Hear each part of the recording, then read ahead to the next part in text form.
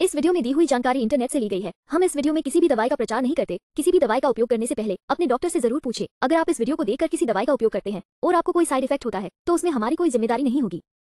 त्रिफल पुत्रजीवक बीज या पोटा पाउडर का उपयोग आयुर्वेद में महिला बांझपन के इलाज के लिए किया जाता है। ये गर्भाशय की मांसपेशियों को मज़बूत करता है और महिला को गर्भवती होने में मदद करता है।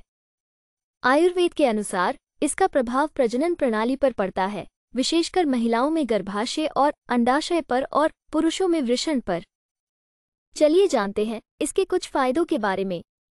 एक, ये गर्भाशय की मांसपेशियों को मज़बूत करता है और महिला को गर्भवती होने में मदद करता है।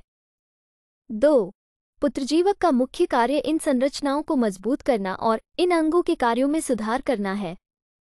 तीन, यह आदतन गर्भपात से राहत दिलाने में भी सहायक है। चार यह एक औषधीय पौधा है, जो बांझपन बांझपन और बार बार होने वाले गर्भपात को कम करने में महत्वपूर्ण भूमिका निभाकर प्रजनन प्रक्रिया में सहायता कर सकता है। पाँच, इसका उपयोग सदियों से प्रजनन संबंधी समस्याओं से राहत दिलाने में किया जाता रहा है। वीडियो को पूरा देखने के लिए धन्यवाद। अगर आपको वीडियो अच्छी लगी हो तो वीडियो को ज़रूर लाइक करें। साथ ही हमारे चैनल को सब्सक्राइब करके नोटिफिकेशन बेल को ऑल नोटिफिकेशन पर सेट करें।